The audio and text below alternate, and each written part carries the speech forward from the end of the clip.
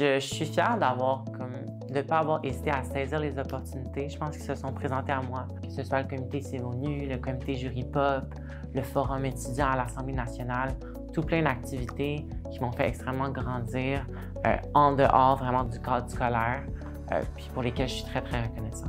Jury Pop, c'est vraiment, je pense, le meilleur moment de, mon cégep, ce comité-là, la chance de plaider euh, dans une simulation de procès à la cour d'appel, devant une vraie juge, devant des vrais membres du jury. C'était un moment que je ne vais pas oublier, le moment où je me suis levée puis j'ai pu plaider devant tous ces gens-là. C'était comme, je savais que j'étais à ma place à ce moment-là. Je suis super reconnaissant d'avoir eu l'opportunité de participer à ce comité-là à travers Saint-Anne.